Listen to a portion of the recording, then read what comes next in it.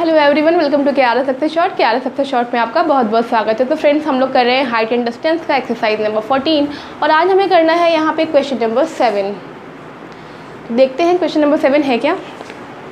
A vertical tower stands on a horizontal plane and is surmounted by a vertical flag step of height six metre एक tower है जो कि surmounted है, इसके ऊपर एक फ्लैग स्टेप लगा है हाइट है उसकी six metre At a point on the plane, the angle of elevation of the bottom of the flag step is 30 degree and that of the top of the flag step is 60 degree.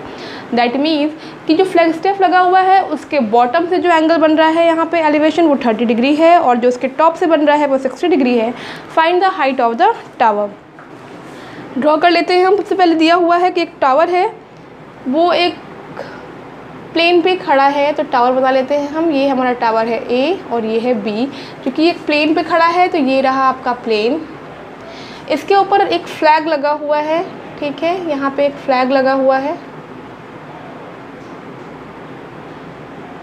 Flag यहाँ लगा हुआ है, देखिए, flag को हम दे देते हैं name यहाँ पे डी ठीक है? अब कह रहा है कि इस फ्लैग का जो ये बॉटम पोर्शन है और ये टॉप पोर्शन है। ठीक है?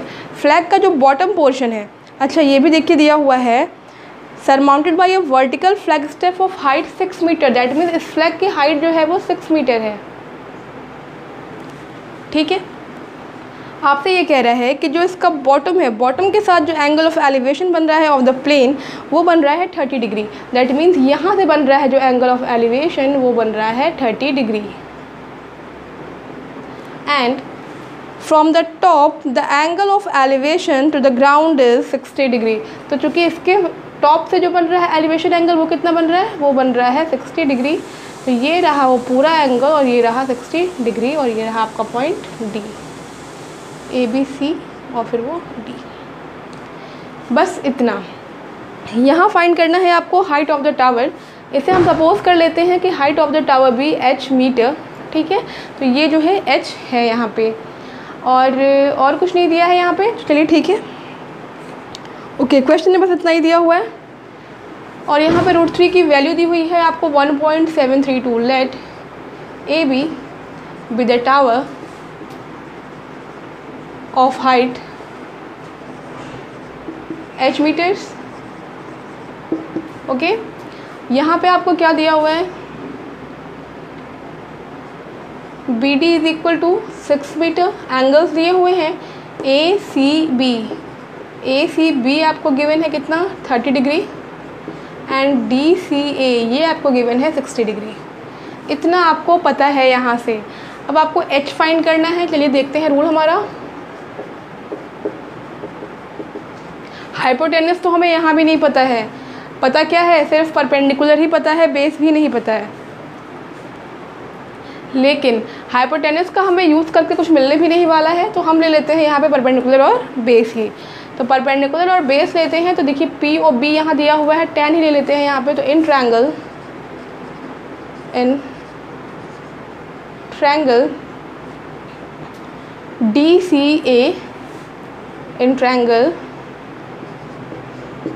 यहाँ पे देखिए टेन सिक्सटी जो बनेगा आपका, बड़ा वाला एंगल ये बनेगा A D upon A C tan sixty की वैल्यू होती है अंडर रूट थ्री और ए डी की वैल्यू है आपकी H plus six upon A C तो ए सी आपका हो जाएगा ये अंडर रूट थ्री के साथ और ये होगा एच प्लस सिक्स तो यहाँ से ए सी की वैल्यू कितनी हो जाएगी? H plus six upon under root three equation number one परेशान होने वाली बात नहीं है कि ए सी आ रहा है तो कैसे करेंगे?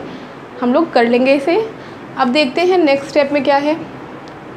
In right triangle B A C यहाँ पर दिया हुआ है टेन की वैल्यू, थर्टी। और ये होगा आपका A B upon A C tan thirty होता है, वन अपॉन रूट थ्री, और ए बी आपका एच है, और ए सी तो पता ही नहीं है। यहाँ से ए सी हो गया है एच अंडर रूट थ्री यानी कि रूट थ्री एच ऐसे लिख लीजिए रूट थ्री एच ज़्यादा सही लगेगा। ये हुआ आपका question number two using equation one and two अब वन और टू का हम यूज़ करेंगे using equation one and two use करने में क्या दिख रहा है? ए सी और ए सी दोनों का लेफ़्ट हैंड साइड इक्वल है तो राइट हैंड साइड भी इक्वल हो जाएगा।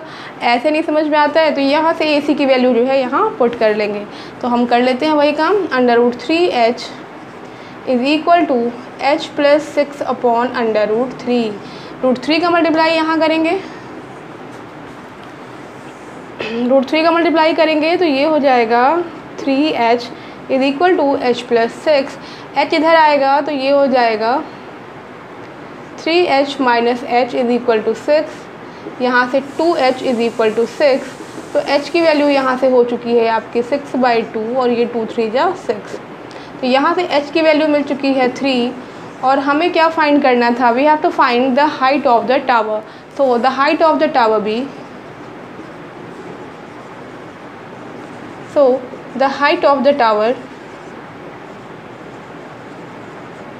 be three metres और ये रहा आपका क्वेश्चन नंबर सेवन का फुल सोल्यूशन तो इस तरह से हम करेंगे आपका क्वेश्चन नंबर फिफ्थ सिक्स और सेवन्थ ठीक है? एक ही तरह के लगभग क्वेश्चन थे, मैंने जिसके पहले वीडियो में आपको क्वेश्चन नंबर फिफ्थ और सिक्स बताए थे, उसी तरह से हमने इसी भी कर लिया है। लगभग लगभग सेम तरह के ही ये क्वेश्चंस थे। तो आई होप फ्रेंड्स कि आपको क्वेश्चन समझ में आया होगा। क्वेश्चन के रिगार्डिंग कोई भी क्वेरी हो तो आप कमेंट बॉक्स में कमेंट ज़रूर करिएगा। वीडियो पसंद आ रहा हो आपको क्वेश्चन समझ में आ रहा हो तो भी मुझे ये बताने के लिए कमेंट ज़रूर करिएगा कि मेरा पढ़ाया हुआ आपको समझ में आ रहा है।